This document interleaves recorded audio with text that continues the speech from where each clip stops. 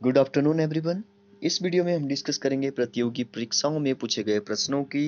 तो यहाँ पे लिखा है H S pre exam held on four September 2011 तो 2011 का जो एच एस का एग्ज़ाम होता प्रिलिमिनरी तो उसमें जो भी क्वेश्चन पूछे गए थे हिमाचल से रिलेटेड यहाँ पे हम टोटल जो वो सेवनटीन क्वेश्चन डिस्कस करेंगे और डिटेल में डिस्कस करेंगे। जैसे कि फ़र्स्ट क्वेश्चन है यहाँ पे सियुल धारा जो वो किस नदी की सहायक है?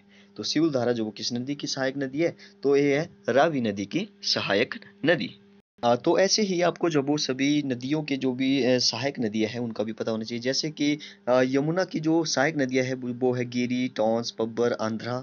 जैसे कि ब्यास नदी की जो सहायक नदियाँ है, वो है बनेर बानगंगा लूनी, पार्वती, सैंज, तीर्थन, हार्ली और उहुल नदी भी जो वो ब्यास नदी की जो वो सहायक नदी है। जैसे कि चिनाब की अगर हम बात करें तो चिनाब की है चंद्रा भागा ठीक है चंद्रा भागा तो वो लाहौल स्पीति में जो वो तांडी नामक स्थान पर जब वो आपस में मिलती है तो चाव की जो सहायक नदी है वो होगी चंद्रा और भागा नदी। अगर हम रावी नदी की बात करें तो रावी में जो भंदल तंतगिरी, छत्राणी, स्थूल और साल और यहाँ पे सियुल धारा भी जो किसकी है, रावी नदी की है सहायक नदी है। अगर हम बात करें इनके प्राचीन नाम की तो प्राचीन नाम जो वो चिनाब का क्या है? चिनाब का जो वैदिक नाम है वो है अस्किनी चिनाब का जो वैदिक नाम है वो अस्किनी है, याद रखिए। और यमुना का जो प्राचीन नाम है, पुराना नाम, वो कालिंदी है। तो यमुना का जो प्राचीन नाम है वो क्या है?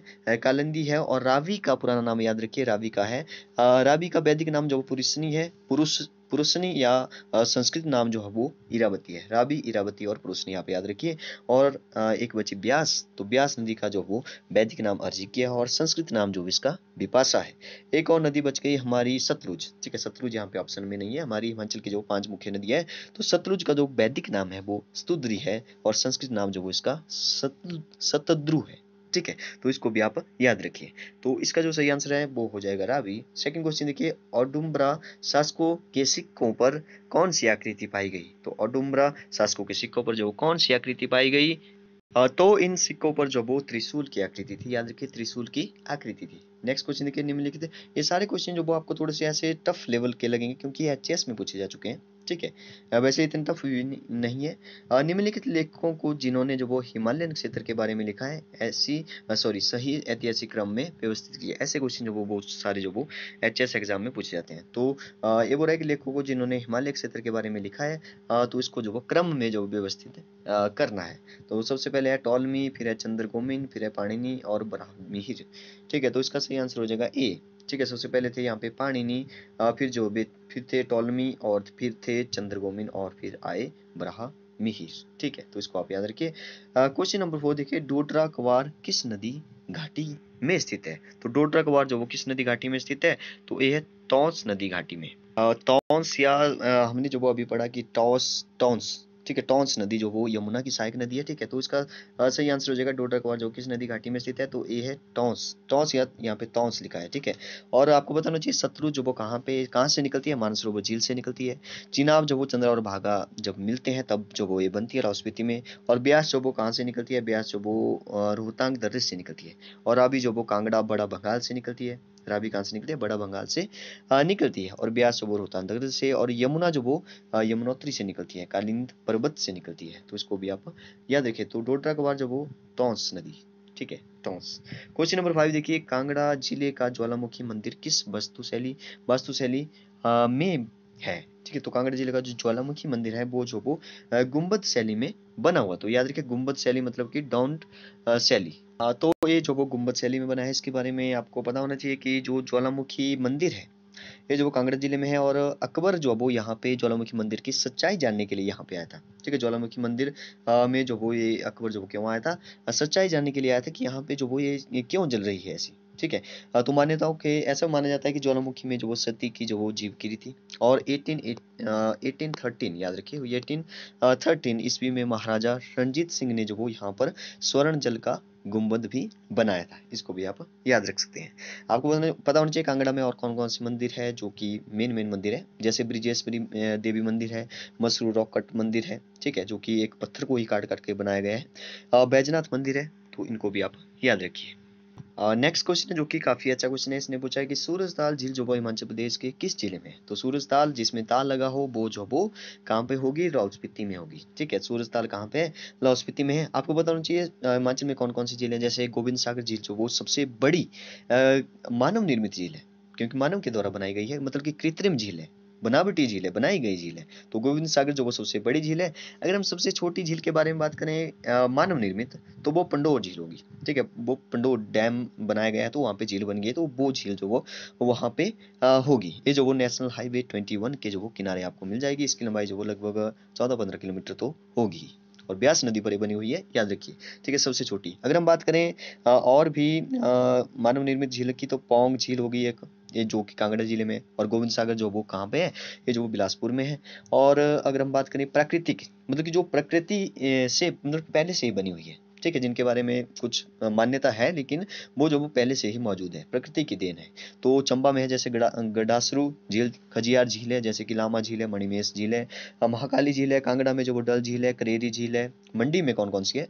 मंडी में जो वो एक तो मंडी में एक तो परासर झील है मंडी में एक तो परासर झील अच्छा दो हमारे पास एक ऐसी झीलें हैं। अच्छा परासर झील जो वो सबसे छोटी, जो वो हमारे पास प्राकृतिक झील है। परासर झील कौन सी है? सबसे छोटी कृत्रिम नहीं सॉरी प्राकृतिक झील जो वो सबसे छोटी कौन सी है? तो वो परासर झील है। अगर हम सबसे बड़ी बात करें तो वो जो वो कौन सी है? वो जो वो सिरमौर में रेणुका झील है। तो मंडी में जो कौन कौन सी झील है? और एक तो रिवालसर झील है, आपको पता होगा। एक कुमारबाह झील भी है। कुल्लू में कौन कौन सी है? कुल्लू में जो वो कुल्लू में एक तो पार्वती नदी का जहाँ से निकलती है, वहाँ पे है मंतलाई झील। एक भृगु झील भी कुल्लू में है, एक दशहर झील भी है, और एक जो वो सरियूल झील भी है, एक सरवा सिरोलसर झील भी है। लाहौल स्पीति में सूरजताल झील होगी, चंद्रताल झील होगी। शिमला में जो वो, देखिए, चंद्रताल जो वो लाहौल स्पीति में है, और चंद्रनाहन झील है एक, जो कि शिमला में है। ठीक है। और कई सारी झीलें हैं, जैसे किन्नौर में जो वो नाकू झील है, ये भी कई बार जो पूछा जाता है। किन्नौर में कौन सी झील है? किन्नौर में जो वो नाकू झील है। किन्नौर में जो वो नाकू झील है। और सिरमौर में जो वो रेणुका झील है, जो कि बहुत बार जो क्वेश्चन बनता है, और किन्नौर में कौन सी है? रेणुका झील जो कि सबसे बड़ी प्राकृतिक झील है। और इसकी जो लंबाई है, इसकी लंबाई को यहाँ पे याद रखिए, लगभग ढाई kilometre, two point five kilometre लंबी है। और इसकी आकृति जो वो ऊपर से देखने पर जो वो एक ऐसा लगता है कि जो एक महिला जो वो सोई हुई है, स्त्री जो वो सोई हुई, स्त्री की जैसे जो वो दिखाई देती है। और रेणुका, आपको पता होगा भगवान, परशुराम की जो वो माता है, रेणुका को अपने पुत्र परशुराम के हाथों जो वो बलिदान होना पड़ा, जिससे उसके पिता जग, जमदग्नि की आज्ञा पर पालन करते हुए तो ऐसा किया जमदग्नि जामलू देवता के रूप में भी जाने जाते थे। तो इसको भी आप याद रखिए। नेक्स्ट क्वेश्चन पे चलते हैं। नेक्स्ट क्वेश्चन है यहाँ पे, कौन सी पर्वत श्रृंखला अच्छा इस क्वेश्चन का आंसर हो जाएगा लाहौल स्पीति झील ठीक है? आ, कौन सी पर्वत श्रृंखला सिरमौर को शिमला से अलग करती है? कौन सी पर्वत श्रृंखला सिरमौर को शिमला से आ, अलग करती है? तो ए है चूड़ चांदनी। चूड़ चांदनी चूड़धार आपने सुना होगा नाम चूड़धार या चूड़ चांदनी। ये जो मैं बोल रहा हूँ चूड़धार ये जो वो शिमला के जो दक्षिण में स्थित है शिमला के दक्षिण में स्थित है। और एक और चोटी है हमारी जैसे शिला। ठीक है शिला जो वो किन्नौर ज़िले की सबसे ऊँची चोटी है। शिला ही हमारे हिमाचल की सबसे ऊँची चोटी भी है इसको भी आप याद, याद रखिए। और लाहौल स्पीति और किन्नौर को जो वो तिब्बत से अलग करती है ये भी क्वेश्चन कई बार पूछा जा चुका है कि लाहौल स्पीति और किन्नौर को जो वो कौन सी पर्वत श्रृंखला जो वो अलग करती है। तो जासकर पर्वत श्रृंखला आप याद रखिए। जाखदार के बारे में पूछा जाता है। देखिए ये जो क्वेश्चन है जो वो पहले भी जो वो एच में कई सारे एग्ज़ाम ऐसे हैं जो एचएस में पूछे जा चुके हैं पीजीटी पीजीटी इंग्लिश में, या सुपरवाइजर एग्ज़ाम में, या कई सारे पटवारी एग्ज़ाम में पी पेट हो गया टेट एच कई सारे एग्ज़ाम में जो वो, ये पूछे जा चुके हैं, ठीक है? तो जैसे जाखदार जो किसी ज़िले में है तो ये हमीरपुर में है। शिवालिक पहाड़ियों की अधिकतम ऊंचाई कितनी है, ये भी पूछा जा चुका है। तो याद रखिए शिवालिक पहाड़ियों की जो अधिकतम ऊंचाई है, वो जो वो लगभग फिफ्टीन हंड्रेड मीटर है। तो इसको भी आप याद रखिए। और हिमालय पर्वत की जो निचली पहाड़ियाँ होती है हिमालय पर्वत की जो निचली निचली पहाड़ियाँ होती है, उनको जो वो क्या बोलते हैं? शिवालिक बोलते हैं। और एक याद रखिए सिंगरीला पर्वत चोटी जो वो किस ज़िले में स्थित है? सिंगरीला भी लाहौल स्पीति में है। सिंगरीला जो वो कहाँ पे है? लाहौल स्पीति में है। चलिए अगले क्वेश्चन पे चलते हैं। इस क्वेश्चन का जो आंसर है वो चूड़ चांदनी हो जाएगा।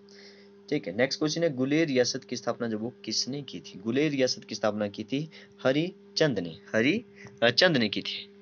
जैसे आपको पता होगा कि मंडी मंडी ज़िले में दो रियासतें थी, पहले मंडी और सुकेत, ठीक है? जो सुकेत जो आजकल सुंदरनगर है, ठीक है? मंडी की जो अच्छा मंडी नहीं सुकेत जो रियासत थी, ठीक है? पहले सुकेत थी, उसकी स्थापना की थी बीरसेन ने, इसको आप याद रखिए, बीरसेन वीर सेन ने जो वो सात सौ पैंसठ ईस्वी में शायद, ठीक है हाँ सात सौ पैंसठ ईस्वी में सुकेत रियासत की स्थापना किसने की थी? वीर सेन ने की थी। और बाणसेन ने जो वो सुकेत से अलग जो वो मंडी रियासत होगी बाद में, ठीक है, सुकेत से अलग हुई मंडी रियासत और बाणसेन ने जो वो, उसकी जो वो स्थापना की थी। और बाणसेन ने ही जो परासर का मंदिर है, वो भी बाणसेन ने ही बनाया था, ठीक है। आगे देखते हैं क्या लिखा है। अच्छा इसका जो सही आंसर है, गुलेर रियासत की बात कर रहा है तो ये हरिचंद ने की थी। नेक्स्ट क्वेश्चन है, क्वेश्चन नंबर नाइन। चंबा के किस राजा ने औरंगज़ेब के उस आदेश को ठुकरा दिया था, जिसमें उससे अपने राज्य में स्थित हिंदू मंदिरों को ध्वस्त करने के लिए कहा गया था? तो फिर से पढ़ते हैं। चंबा को किस राजा ने जो वो औरंगज़ेब के उस आदेश को ठुकरा दिया, जिसमें उसने जो अपने राज्य में स्थित हिंदू मंदिरों को ध्वस्त करने के लिए कहा गया था? तो इसके चंबा के किस राजा ने? तो ये चतर सिंह ने जो ठुकरा दिया था। तो चंबा के कुछ राजाओं के बारे में आपको बताता हूँ। जैसे कि मेरुवर्मन हो गए। मेरुवर्मन ने जो वो चंबा रियासत की स्थापना की थी। चंबा रियासत की स्थापना जो वो किसने की थी? मेरुवर्मन ने की थी फाइव फाइव ज़ीरो ईस्वी में। और याद रखिए चंबा शहर की स्थापना जो वो किसने की थी? ये साहिल बर्मन ने की थी। ठीक है? बर्मन बर्मन जहाँ पे लगा होगा याद रखिए वो चंबा के राजा होंगे। ठीक है?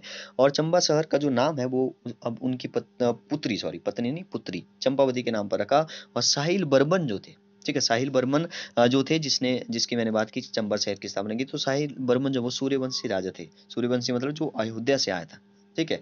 जैसे राम थे वो भी सूर्यवंशी राजा थे ठीक है? तो नेक्स्ट बात करते हैं। आ, तो यहाँ पे इसका आंसर हो जाएगा कि किसने जो वो ये ठुकराया था। तो चतर सिंह थे। क्वेश्चन नंबर नाइन देखते हैं। सॉरी क्वेश्चन नंबर टेन देखते हैं। क्वेश्चन नंबर नाइन तो हो गया। क्वेश्चन नंबर टेन में देखिए क्या लिखा है? क्वेश्चन नंबर टेन में लिखा है हिमाचल प्रदेश के किन्नौर ज़िले की किस ग्राम पंचायत ने दिसंबर 2010 क्योंकि ये पुरानी बुक है यहाँ पे ठीक है तो इसमें से क्वेश्चन लिया मैंने। आ, तो ये बहुत पुरानी बात है कि 2010 दिसंबर 2010 से जनवरी 2011 के चुनाव में जो वो सर्वसम्मति से केवल सभी महिला सदस्य ही चुनी ठीक है? तो किन्नौर ज़िले के किस ग्राम पंचायत में ऐसा हुआ था? तो ये हुआ था कामरू में। तो याद रखिए इसको भी ये भी करंट अफेयर है जो कि करंट अफेयर तो नहीं रहा अब। ठीक है? क्वेश्चन नंबर इलेवन ऊहल जल विद्युत परियोजना एक क्वेश्चन जो कई बार एग्ज़ाम में आ गया। ऊहल जल, अभी हमने बात की ऊहल नदी की, जो कि ब्यास की एक सहायक नदी है, ठीक है? तो ये मंडी में है। पहले बता दूँ, ऊहल जल विद्युत परियोजना जो वो हिमाचल प्रदेश के किस ज़िले में है? तो ये जो वो मंडी में है, याद रखिए। क्वेश्चन नंबर ट्वेल्व देखिए। 2011 की जनगणना के अनुसार हिमाचल प्रदेश अच्छा जनगणना जो वो 2011 की जो मतलब कि यहाँ से तो वो एक दो क्वेश्चन तो बन ही जाते हैं, हर एक एग्ज़ाम में। तो याद रखिए, हिमाचल प्रदेश के किस ज़िले में लिंगानुपात सबसे अधिक है? तो सबसे अधिक जो लिंगानुपात है, ठीक है, सबसे अधिक की बात कर रहा है क्वेश्चन नंबर ट्वेल्व का जो सही आंसर है वो हो जाएगा चंबा।